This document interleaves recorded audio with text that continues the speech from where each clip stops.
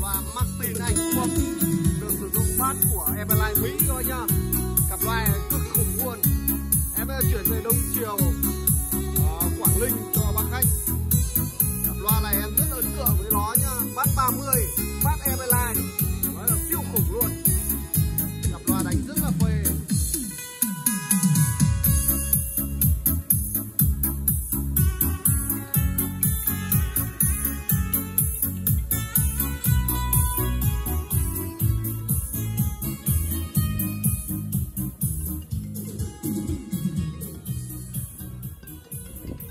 Vâng, em ờ, xin ờ, nghe máy một chút này.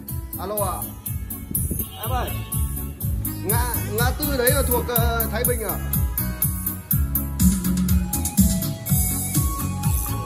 Em em nhắn cụ thể đi để anh đang đóng. Ừ rồi rồi. Thuộc Thái Bình đúng không?